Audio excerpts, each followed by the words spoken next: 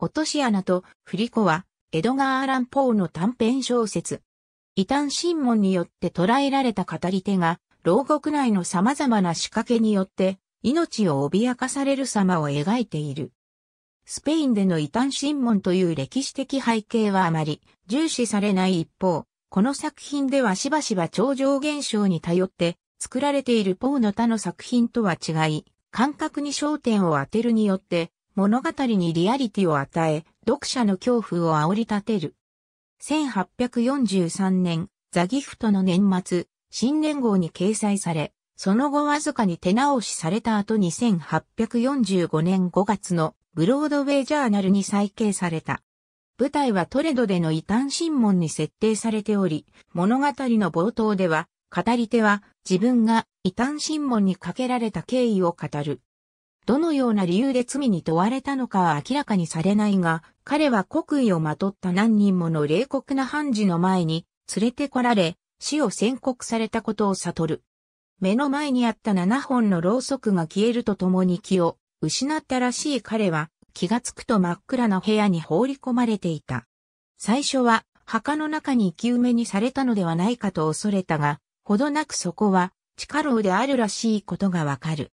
彼は暗闇の中で牢獄内を探るため、囚人服の裾を切り取り地面に置いて目印とし、壁際に沿って歩き始めるが、しかし途中で気を失ってしまう。次に目覚めると、語り手の傍らには、水とパンが置かれていた。彼は食事をとった後に調査を再開し、結果部屋の周囲はちょうど100歩であり、また石造りかと思っていた壁もよく調べると金属製であったことがわかる。次に彼は部屋を横切ってみようとして、囚人服の切れ端に足を取られて転倒する。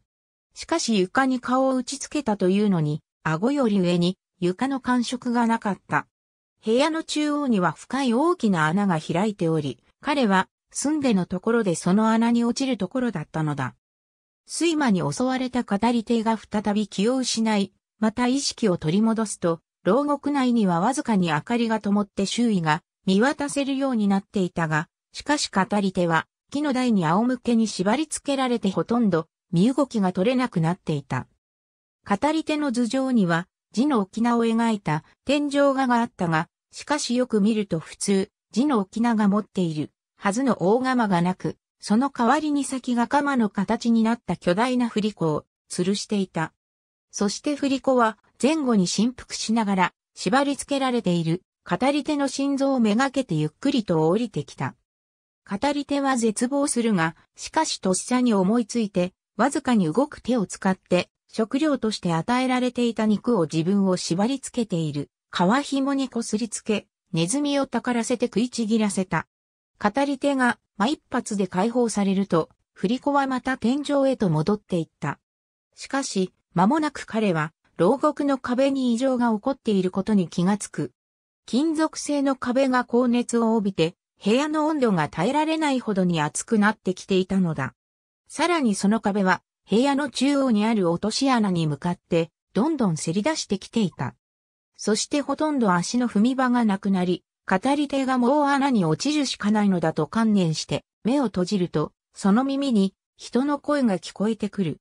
壁は後退していき、気を失って穴に落ちかかった語り手を人の腕が伸びて支えた。それはナポレオン軍のラサール将軍の手だった。フランス軍がトレドを攻略し、異端審問書は敵軍の手に落ちたのだった。この作品は必ずしも歴史的事実に忠実に書かれていない。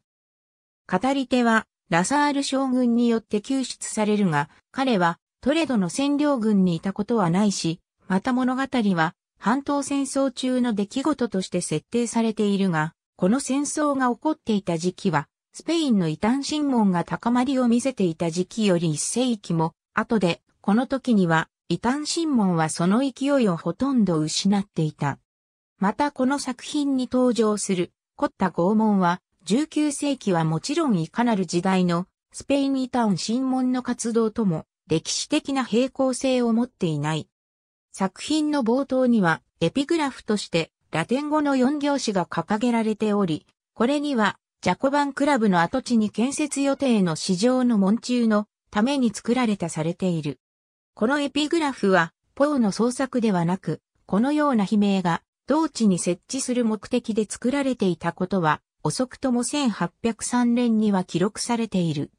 これは、ポー自身が編集していた、サザンリテラリーメッセンジャー誌にも1836年に、無記名のトリビア記事として紹介されていた。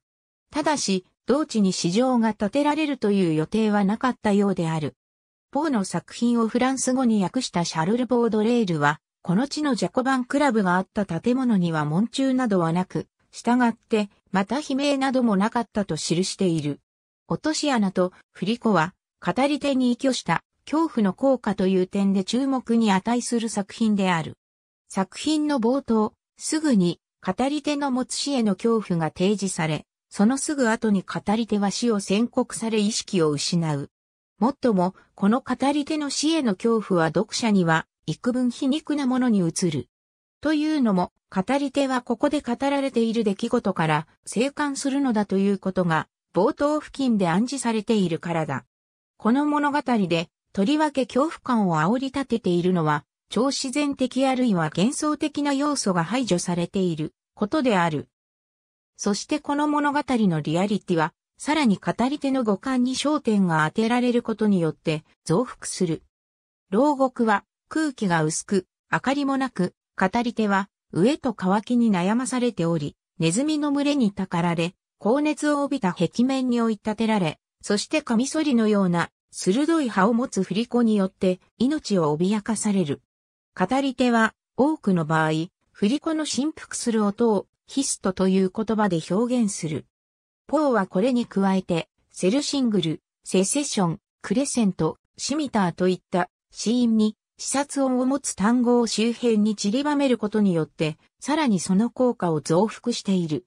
落とし穴と振り子は、ポーがこれ以前に書いた短編、ある苦境のシリアスな改変であるとも考えられる。この物語では、同じような、カマがゆっくりと、しかし、ここではコミカルな仕方で、語り手の首を刈り取るが、これは本作で振り子が語り手の胸に向かってゆっくり降りてくる様を思い起こさせる。ポーを続悪として批判しているウィリアム・バトラー・エイツは、この作品について、私にはこの作品がいかなる意味でも、永続的な文学上の価値を持つものとは思えなかった。この作品を分析する者は誰しも、そこに強引に神経に訴えようとする安っぽい苔、脅しを見るだろうと述べている。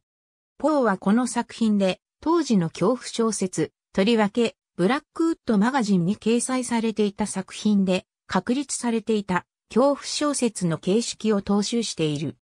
もっとも、落とし穴と振り子とは違い、これらの小説で題材となるのは、多くの場合、偶然の出来事や個人の復讐といったことである。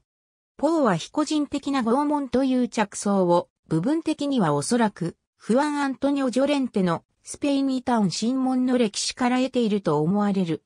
ポーの振り子のアイデアは、ジョージ・セールによるコーランの翻訳から着想を得たものではないかと言われている。ポーは、セールの翻訳に親しんでおり、イズラフェル、あるアーラーフなどの詩で、セール役のコーランを参照しているほか、短編、シェヘラザーデの千ギアの物語では、作品内でセールに言及している。セールの翻訳には注釈も付けられており、その中では拷問と処刑の形式に言及する形で、中で炎が燃え盛っている穴に人々を投げ入れ、このことから彼は落とし穴校という不面目な称号を得たとある。コーランそのものについては、スーラ85章、アルブルージュの一節に、燃料によって燃え盛る穴を考案した者に呪いあれ。彼らは人々が偉大な全能の神を信仰したという、他ならぬそのことによって人々を苦しめたのだとある。またポーは、ウィリアム・マットフォードの鉄の帳からの影響を受けていると考えられている。